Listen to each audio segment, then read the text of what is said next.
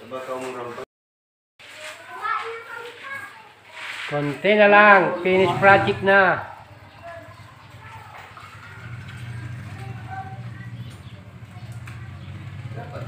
Dapat ikipigyan mo. Grill. Ayan.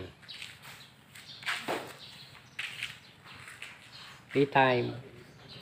Sahod po.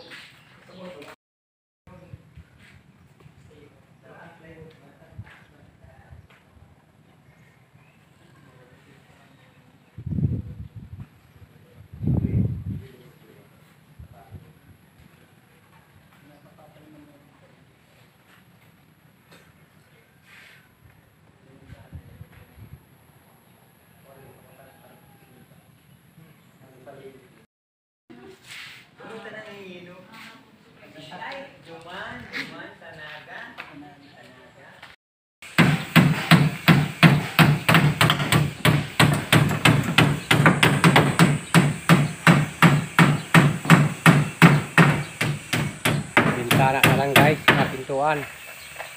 Okay na yung project. Sintor na lang ang bahala.